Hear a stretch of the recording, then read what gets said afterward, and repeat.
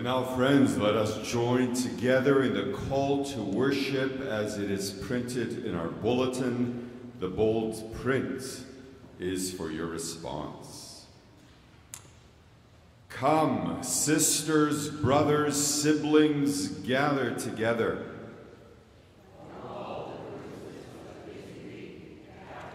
Plunge your sorrow and worry into the fountain of life. Give your questions and doubts to the heart of God.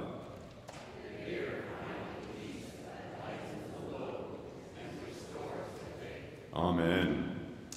Let us raise our voices and sing together the hymn 251 Christ is Alive.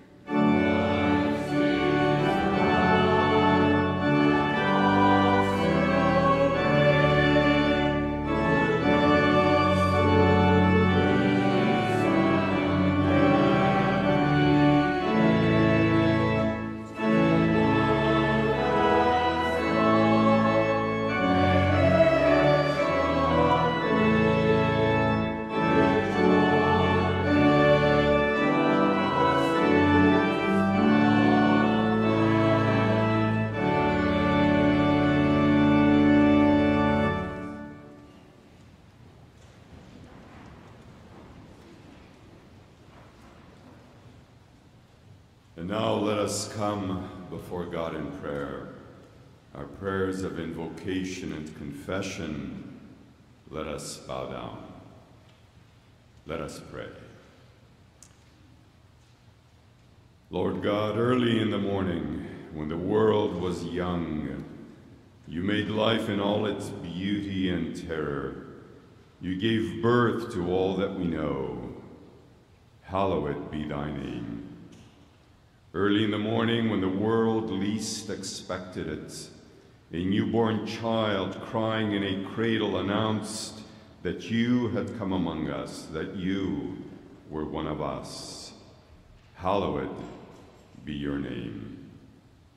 Early in the morning, surrounded by respectable liars, religious leaders, anxious statesmen, and silent friends, you accepted the penalty for doing good, for being God.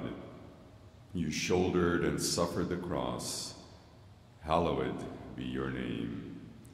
Early in the morning, a voice in a guarded graveyard and footsteps in the dew proved that you had risen, that you came back to those and for those who had forgotten, denied, and destroyed you.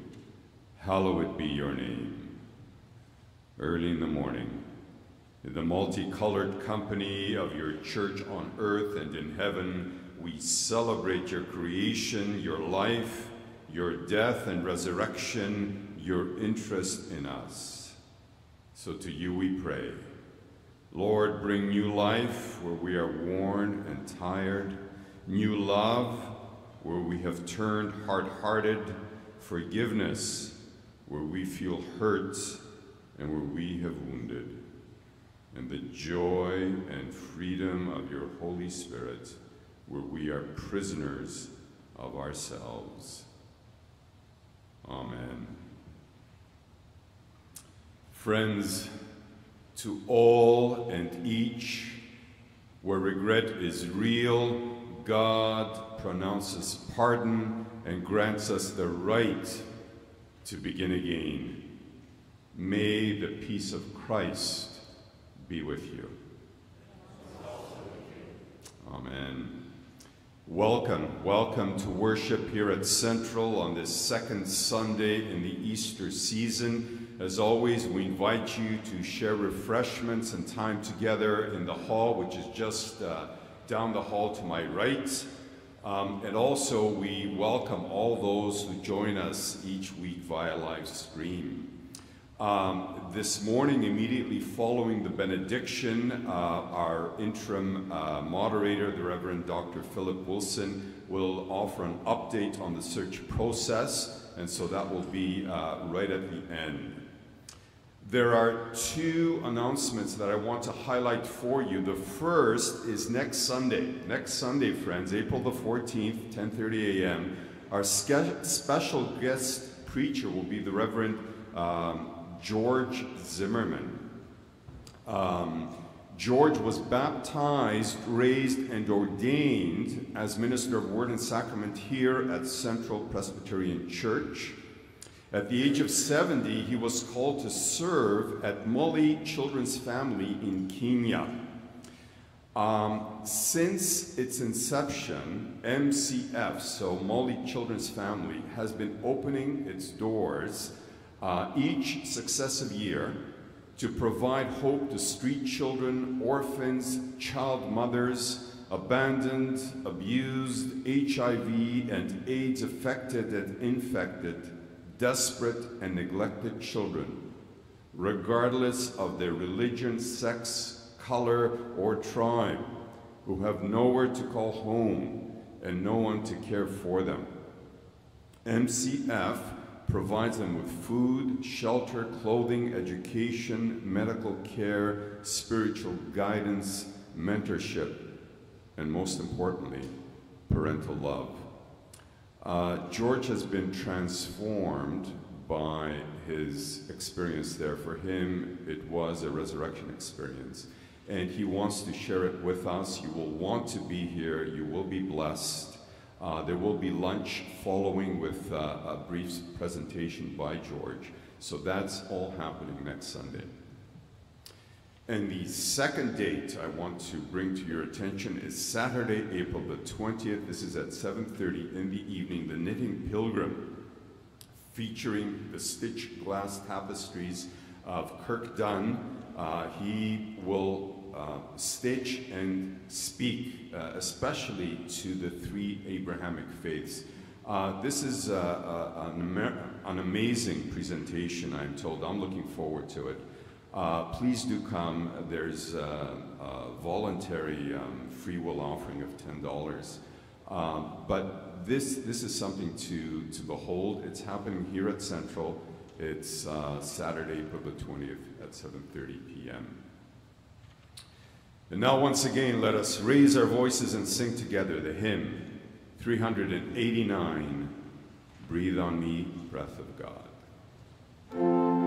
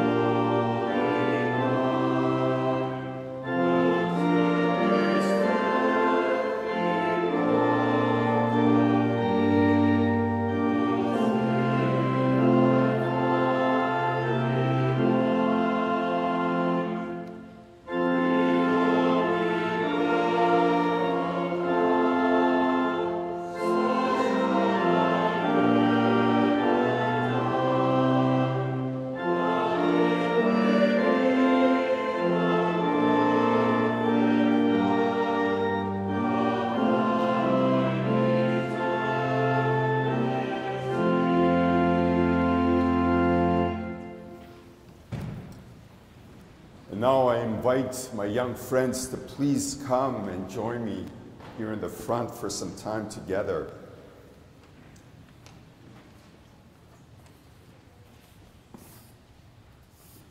Welcome, welcome here, front and center. Oh, so good to see you all. Wonderful, wonderful. Yeah, just keep coming. Wow.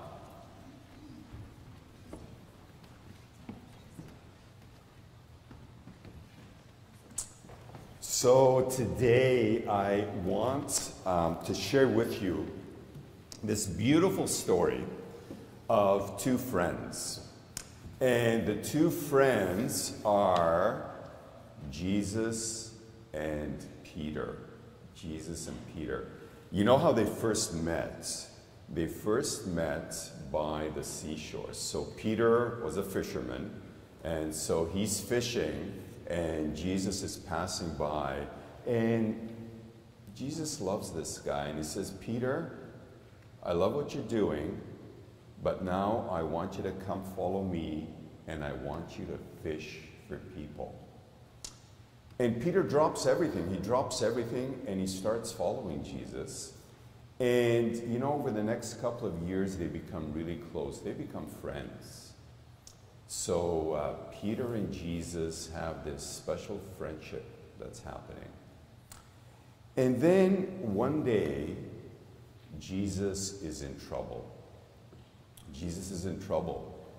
People come at night and they arrest him. So they bind him, they arrest him, and they take him away. And you know, Peter wanted to stay close to Jesus, but he was scared. So he followed secretly. And they take Jesus to what was really the courthouse, it's the high priest's uh, palace. And they take Jesus in there and they start asking him questions and they're rough with Jesus. And Peter kind of goes into the courtyard and there was a fire. And Peter starts warming himself by the fire. And somebody says, Hey, I know you. You were with him. The guy that's inside being questioned. And Peter says, No, I don't even know him. So Peter denied that he knew Jesus. And then somebody else says, Hey, you're with him. You're one of them. And Peter says, No, I'm not. I don't even know him. So a second time, Peter denied that he even knew Jesus. And then a third time, this young woman comes and she says, You were with him. You're one of them. And Peter says, I swear, I swear I don't know him. And Peter swore he didn't know Jesus. And Jesus turned and looked at Peter. And Peter was so sad. He ran away and he started crying and crying and crying. So they took Jesus, and as we know, Jesus was crucified and, and, and died. But that wasn't the end. Jesus came back. And once more, Jesus and Peter met. And again, Peter was fishing with his friends. And one of his friends said, Hey, I think that's Jesus on the shore. And as soon as Peter heard that, he jumped up on the boat, he dived into the water, and he swam to the shore. And Jesus was there. And he had a fire going again. And Peter warmed himself, and, Pe- and Jesus already had some fish um, cooking on the fire. And Jesus said, Peter, I want us to talk. So let's go for a walk. And Jesus and Peter started walking on the shore. And Jesus said, Peter, do you love me? And Peter said, Lord, you know that I love you. And Jesus asked again, Peter, do you love me? And, and, and Peter said, Yes, Lord, I love you. And as they walked some more, Jesus asked him a third time, Peter, do you love me? And Peter was sad that Jesus asked him for the third time. And he said, Lord, you know everything. You know that I love you. And Jesus said, Feed my sheep.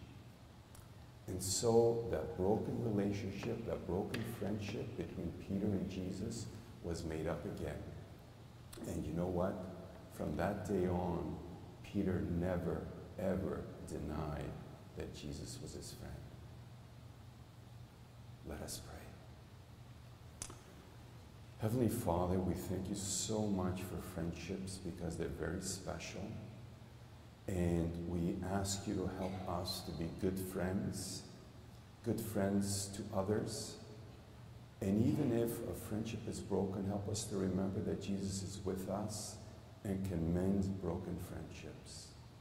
And we pray all of this in Jesus' name. Amen. Thank you so much this time together.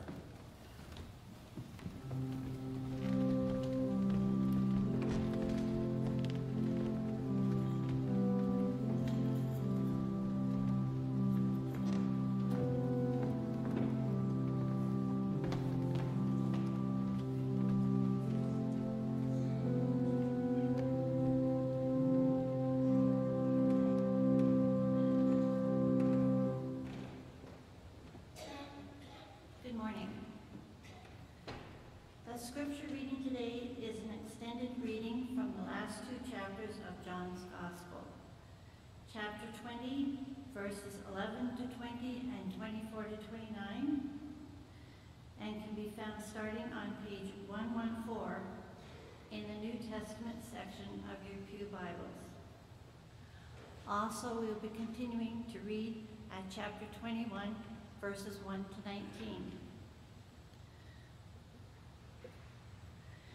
Jesus and Mary. But Mary stood weeping outside the tomb. As she wept, she, spent, she bent over to look into the tomb, and she saw two angels in white sitting where the body of Jesus had been lying. one at the head and the other at the feet. They said to her, Woman, why are you weeping?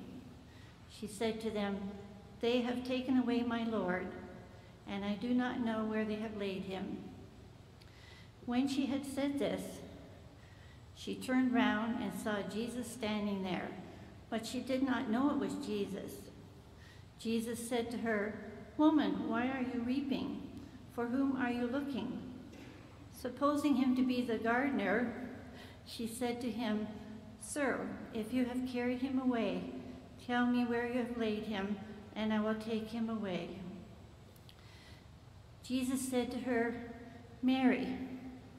She turned and said to him in Hebrew, Rabboni, which means teacher.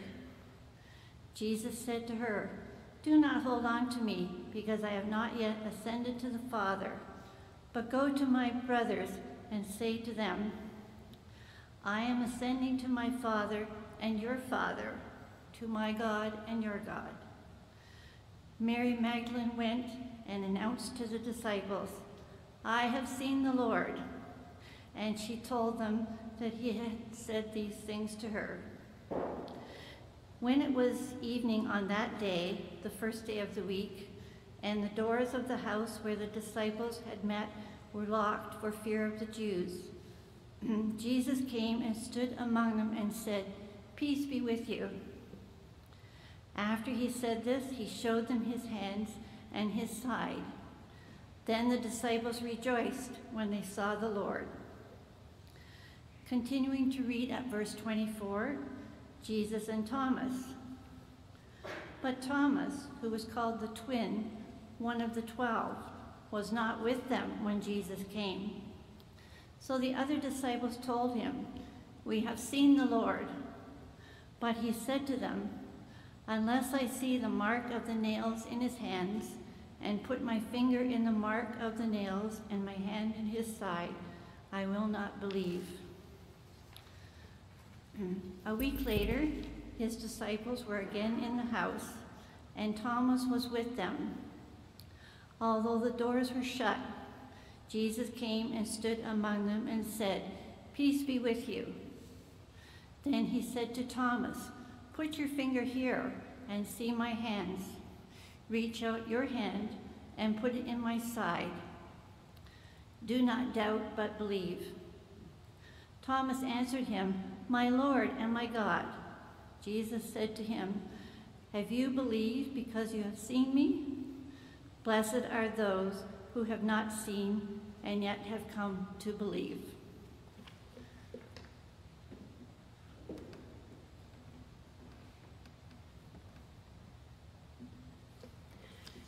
Continuing to read at chapter 21, verse 1 to 19.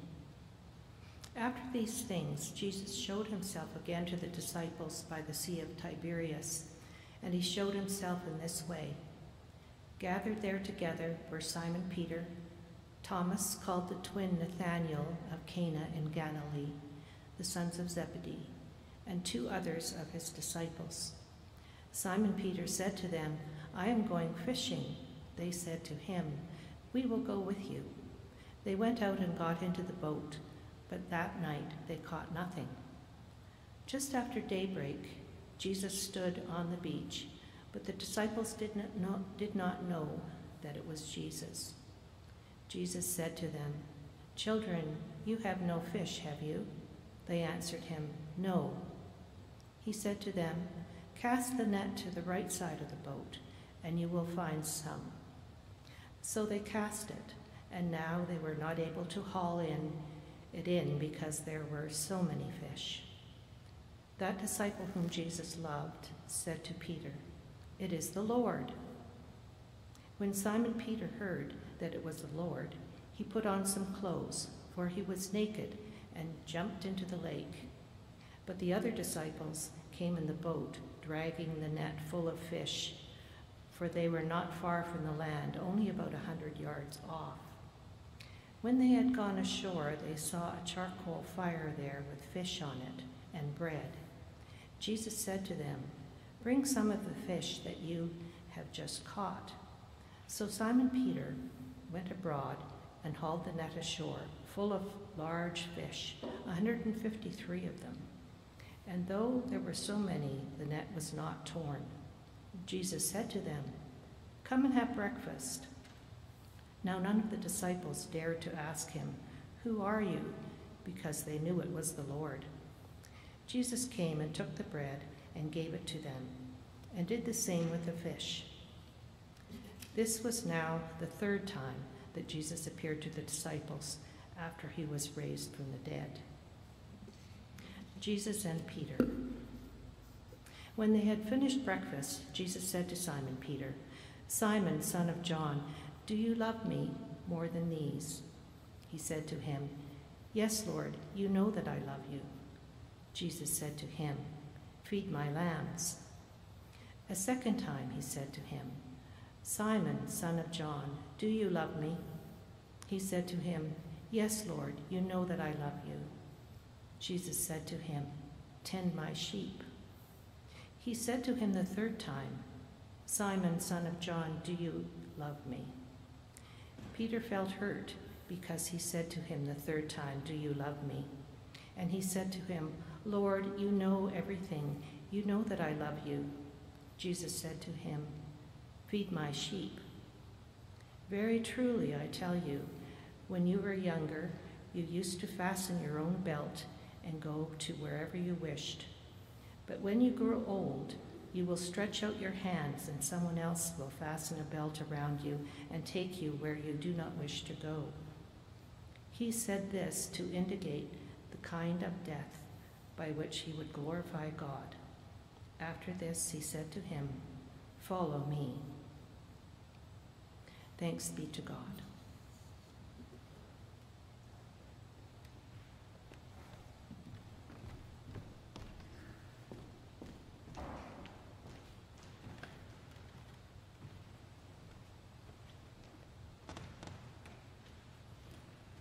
So, friends, this morning let us um, reflect upon and enjoy these final two chapters of John's Gospel. They offer us a full taste of Jesus' very personal encounter with three of his followers Mary, Thomas, and Peter. To know the risen Jesus not only as a figure in history or as a subject of faith, but as the very one who encounters you and I personally is to know him in these meetings, which yet remain mysterious and deeply challenging. So, first, we recall from last Sunday the encounter with Mary Magdalene. The first day of the week, very early in the morning, while it was still dark, she came to the tomb very sad, shaken, in fact, having come through the Friday of the crucifixion, the burial before sundown, the anguished and sleepless Sabbath, she arrives on the Sunday morning while it is still dark to the place where the Master's body was laid to continue the grief work, to confront the body, to process the loss. The usual prescriptions for good and proper mourning, but mourning is already breaking. She's the first to see the risen Lord, though she mistakes him for the gardener. Quite right, too, because for John, this is the beginning of new creation, with the light breaking through into the darkness of the early morning garden.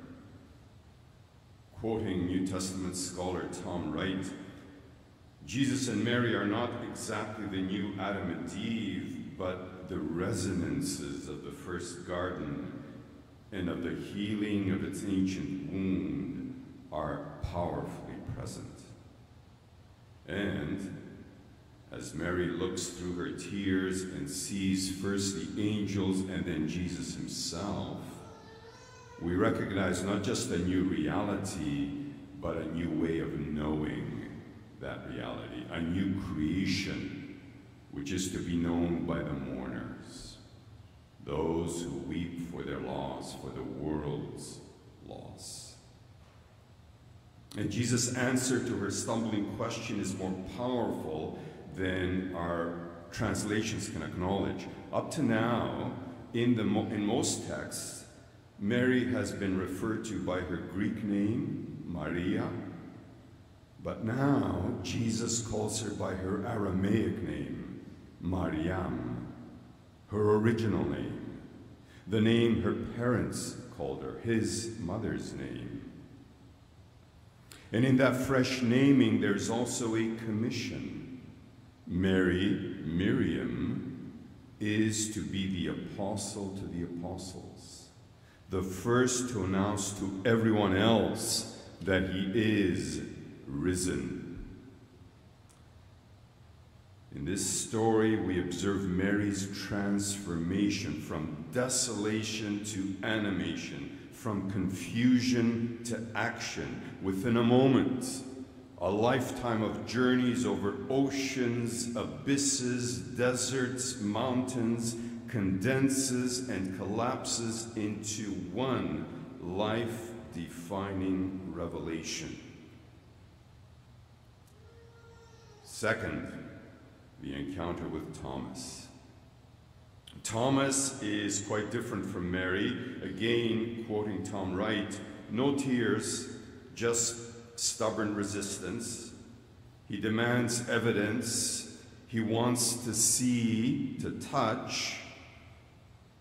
Thomas stands for so many who still ask, but is it true? Thomas has insisted upon personal contact and even a physical intimacy, placing his finger and hand into Jesus' wounds.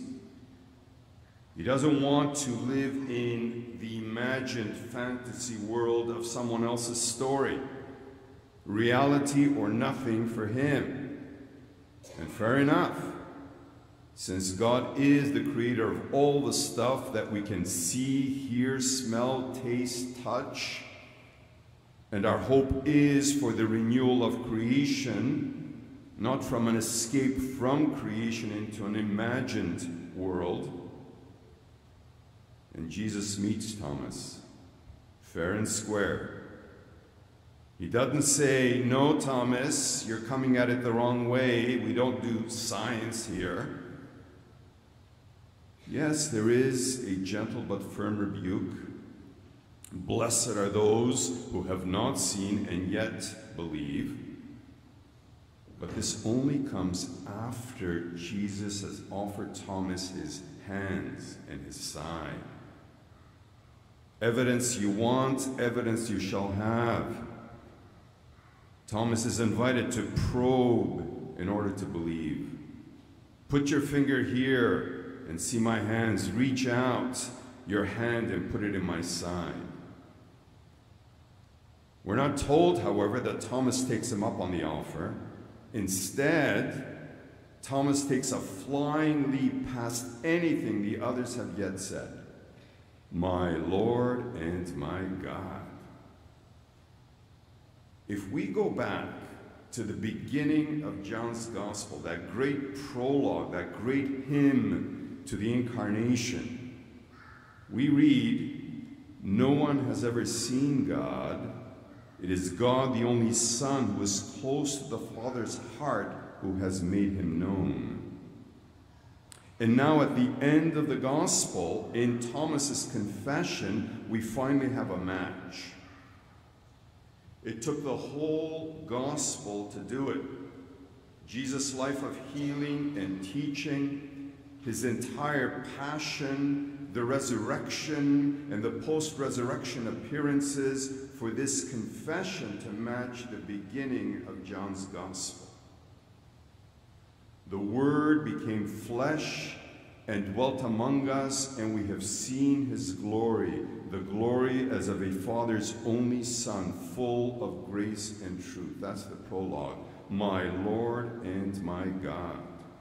The end John's Gospel. Sometimes, sometimes it is the doubters who, when convinced, become the most insightful. my Lord and my God. It is the climax of the gospel, and it might not have happened this way had Thomas not had his doubts. But his confession is one of the strongest in the New Testament. The disciples, with Thomas, of all people, as their spokesperson, have confessed that the flesh and blood person they had known and now know again in a new way is also in truth the Word who is one with the Father. So John brings it all together, and he does it through Thomas. The brilliant Jewish philosopher Ludwig Wittgenstein said, It is love that believes the resurrection. I love that. I love that because it comes from a razor sharp mind, one who taught logic and analysis.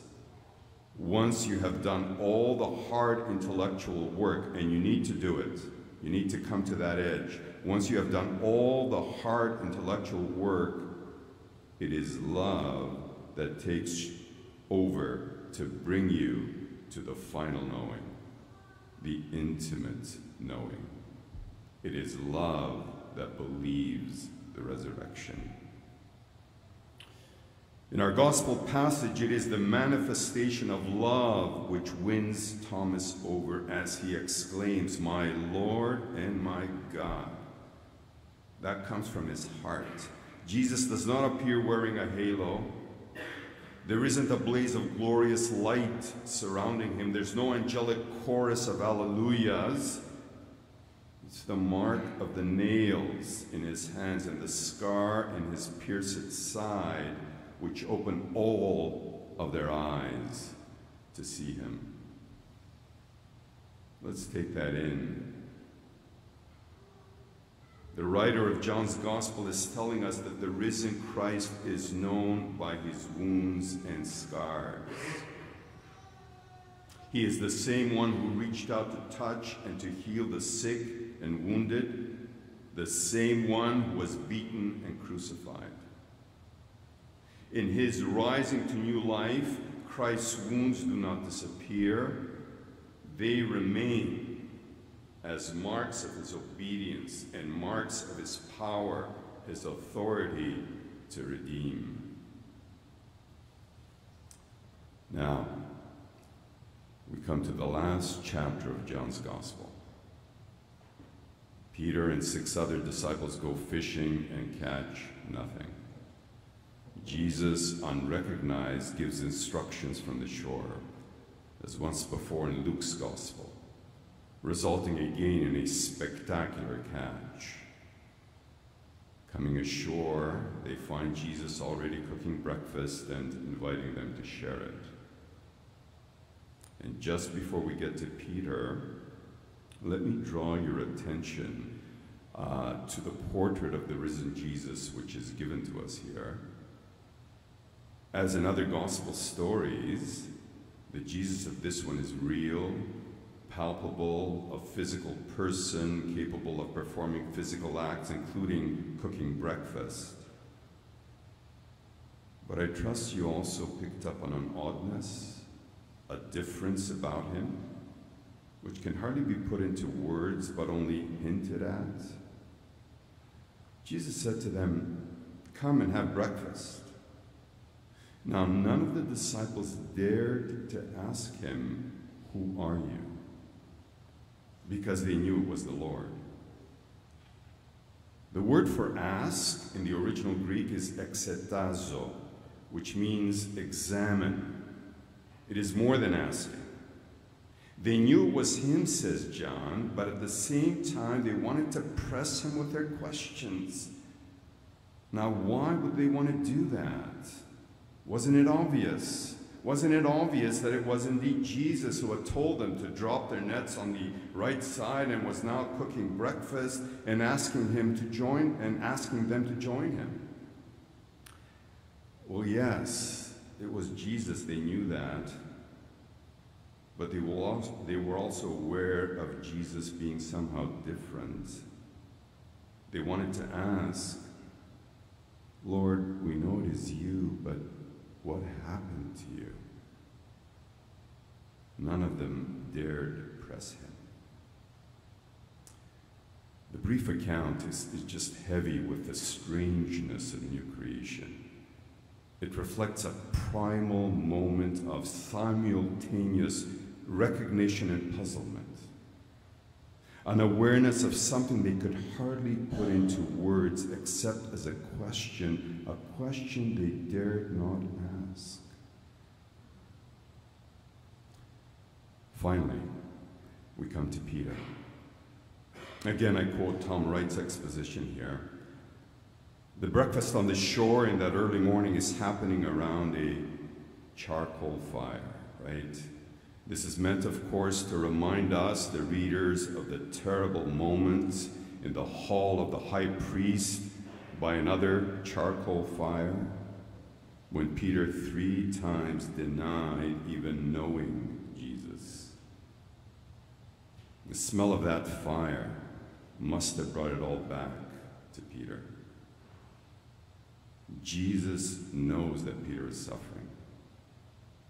Peter needs to come clean and to be forgiven before he is commissioned for the work that is ahead of him. So, Jesus takes him out for a walk along the shore. We know this because we found out later that the beloved disciple is following them. And as they walk, Jesus asks him three times if he loves him. Simon, son of John, do you love me? It is a question we all face, says Wright, particularly those of us called to ministry and leadership within the church. If we know our own hearts, and woe betide a church that is led by people who do not. If we know our own hearts, we know that we have all let Jesus down. That our hearts and minds have plenty of memories of our own charcoal fires, of the times when by our actions or words we have in effect denied we even knew Jesus. Yet Jesus comes and comes again and asks the same question Do you love me? The Greek text makes it quite clear that Peter's response uses a different word. He can't bring himself to say the word love, agapao, the word for that utter self-giving love that Jesus himself has shown on the cross. Peter can't use that word. He uses the word philo, the word for friendship. Yes, Lord, he says, you know I'm your friend. Jesus asks, Do you love me? And Peter answers, You know that I'm your friend. That's as far as he can go. Anything else would seem to be back in the realm of blustering, of boasting. Lord, I will do anything for you. I will lay down my life for you. That's what he said during their Last Supper in the upper room. Now, on the walk along the shore, he's going to start farther back but then the miracle. Well, then, replies Jesus, feed my lambs. We expect perhaps a note of rebuke. Peter, why did you let me down? We might have hope for a word of forgiveness. Peter, you let me down, but I forgive you. What we do not expect is a fresh word of commission feed my lambs. Here is the miracle of the resurrection as it applies directly to our joyful living in the world. The blessing to live life in its fullest, to live freely and joyfully comes in the form of forgiveness. Forgiveness never simply brings us back to a neutral position.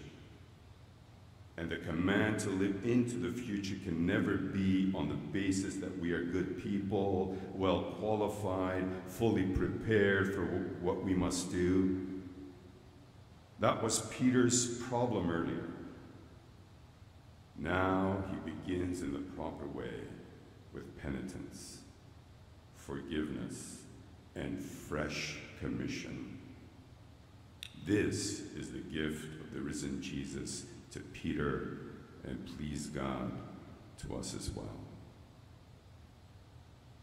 But it doesn't stop there. Jesus asks the same question a second time and gets the same answer Peter, do you love me? Lord, you know I'm your friend. Look after my sheep. But then on the third occasion, Jesus changes the question. Now Jesus asks Simon, son of John, Are you my friend? And John telling this story indicates that Peter was upset that on this third occasion Jesus used these words. Perhaps he thought Jesus didn't believe him, and that he was challenging even the lesser claim that he had made. I don't read it like that, says biblical scholar Tom Wright. I think Jesus is saying, in effect, very well, Peter, if that's where you're at, that's where we'll start. If you can say you're my friend, we'll build on that. Now, feed my sheep. And then, of course, he goes on to warn Peter of what is to come. This sheep feeding business will cost him no less than everything, as it cost the master shepherd himself. Let's appreciate that none of these people, Mary, Thomas, or Peter, are cardboard cutouts producing stock uh, questions and answers. And the resurrected Christ is not above wiping away our tears, answering our hard questions, and inviting us to come with the humility and the love to be now his hands and feet in the world. just as for the very real people dealing with their limitations and aspirations, so for you and for me, the resurrection confronts us with a new creation and new possibilities which open before us. The resurrection is not the end, but the beginning. The resurrection ignited the Christian movement it changed fundamentally and forever a scared and scattered bunch of followers who had abandoned Jesus after the Last Supper and tried to go back to their old life, and they likely would have. But in encountering the risen Christ, the risen Jesus, Mary and Thomas and Peter, and later all those who knew him in his life came to know him after his death. And this experience transformed them from followers to apostles, meaning literally those who are sent to Jerusalem, Judea, Samaria, and the ends of the earth. There would be arrests and shipwrecks and outpourings of the Spirit and persecutions and stoning and miles of weary travel. But Jesus would go with them. And that changed everything. Amen.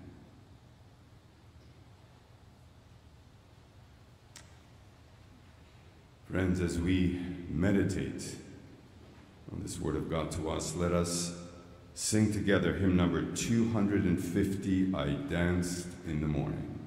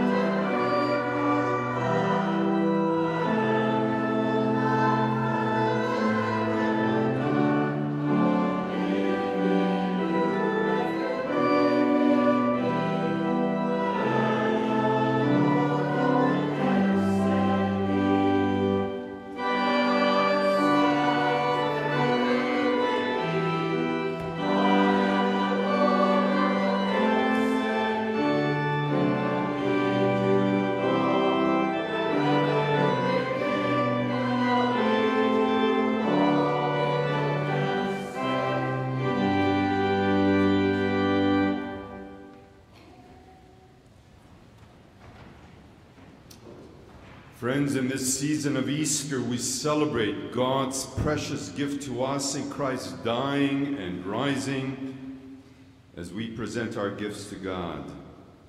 May our generosity reflect God's goodness to us and hope we have found in Christ Jesus. Our offering will now be received.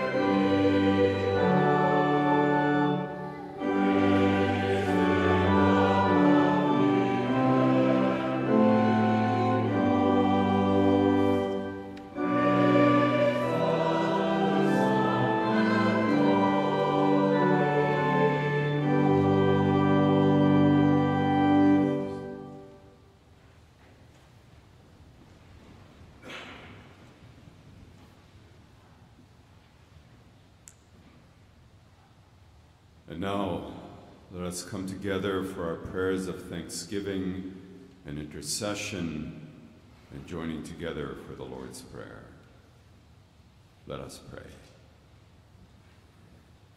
God of all new things, God of spring and fragrant flowers and unexpected snow, God of hope and new life, bless us, we pray this day. Creator God, from whom all life springs forth, we give you thanks. Come, one and all, celebrate and rejoice. Celebrate and rejoice. The old has passed away, everything has become new. God of all things passing away, God of old and yesterday, the one who is with us in our despair and fear. God who sighs and weeps with us, God who wipes away our tears, loving God, we offer up our prayers and concern this day for those struggling to rebuild lives from natural disasters, especially those recovering from the recent earthquake in Taiwan, for the lives lost and those who mourn them in Gaza for those held hostage, abused, and frightened, for those in the midst of war. And we pray for our own who are struggling with illness. Bring wholeness, we pray, bring comfort as we intercede on their behalf, Lord. Hear us when we pray. Incline your ear to our words, silent, shouting, cries, mournful, whispers, stunned, wordless. Be gentle with our suffering, with our sorrows and losses, and especially when our hard hearts close us off to you. Be gentle. Be gentle, O God. Be God. Anoint us with your touch so that the softness of your love can break into our hardness and open us anew. Anoint us, Holy One. Fill us with your loving touch. Fill us that we can touch in your love and fill others. Fill us gently. Fill us. Living God, Father, Son, Holy Spirit, mother, daughter, family, friend, one all with, through, and by your love becomes reconciled. Celebrate and rejoice. The old has passed away. In you, in your creation, in your life and love, everything becomes new. For we pray in Jesus' name, who taught us when we pray to say, Our Father, who art in heaven, hallowed be thy name. Thy kingdom come, thy will be done on earth as it is in heaven. Give us this day our daily bread, and forgive us our trespasses as we forgive those who trespass against us. And lead us not into temptation, but deliver us from evil.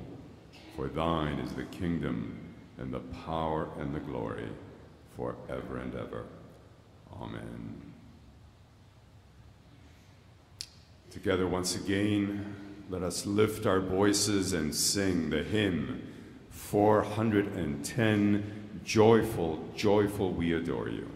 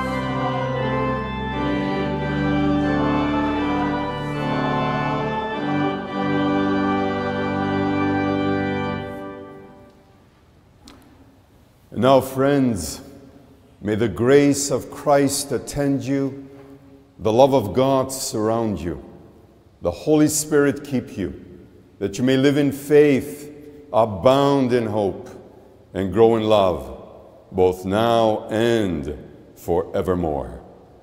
Amen.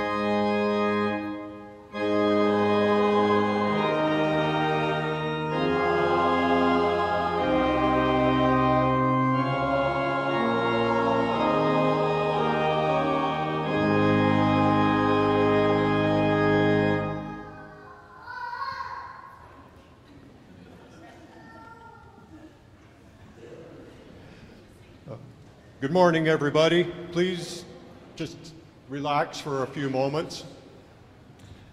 For those who, who don't know me, my name is Philip Wilson. I am the interim moderator who has been tasked with the uh, search process for finding your new minister.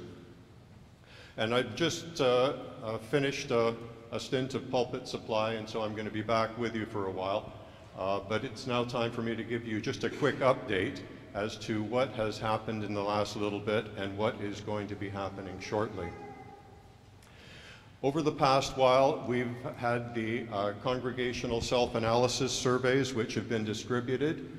Uh, we've had a lot of response uh, from them, and I thank you very much for those who did uh, fill in the uh, surveys and get them back to us. Uh, we really appreciate it, and that information is not going to sit on a shelf and never be seen again. It's already being put to use.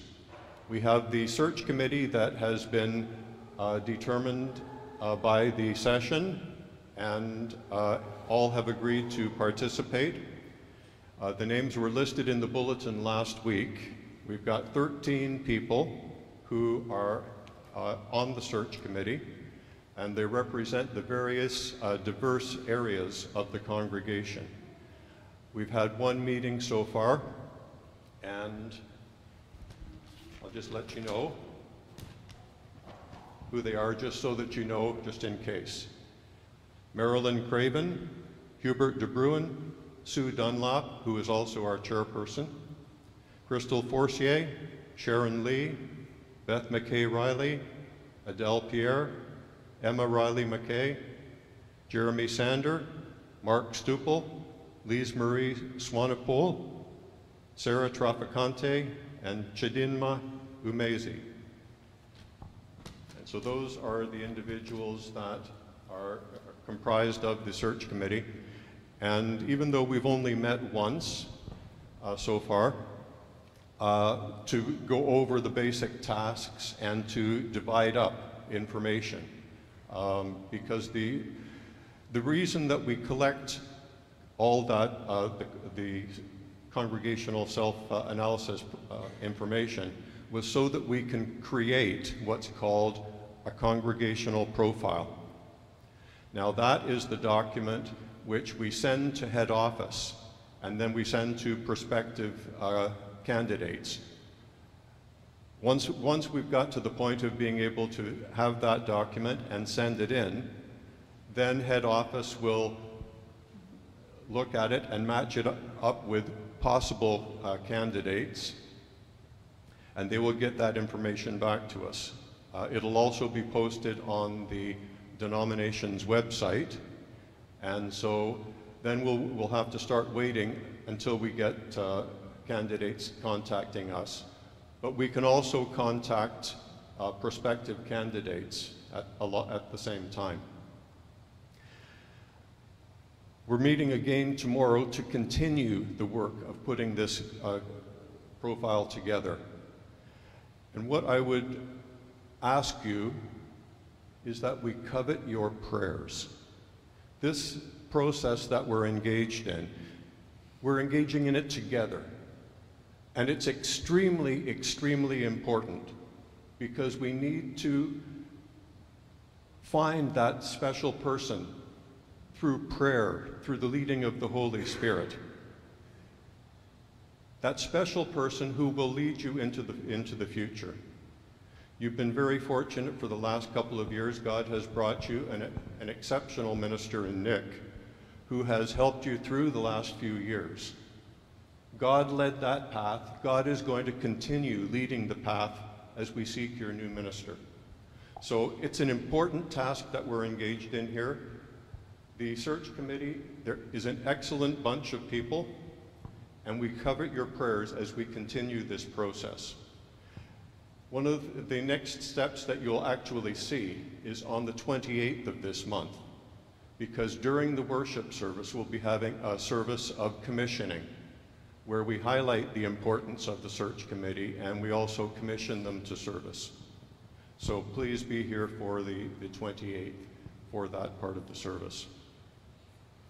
Also, if you have any questions along the way, uh, last week there was an, a, a piece in the bulletin where it, it had my contact information. I noticed that for whatever reason it's not in there this week. If anybody needs, you know, has any questions or concerns, they can contact me directly. Uh, I'll make sure that that information is back in the bulletin for next week. Uh, just in case, though, it's uh, my email is revpmw at outlook.com. My phone number is 905 574 4383. So if you do have any concerns, feel free to contact me uh, because nothing is being hidden, everything is going to be out in the open. And I will continue to keep you apprised as things continue and, uh, and develop. But uh, thank you once again, and once again, please keep the search committee in prayer. Now, I guess go in peace.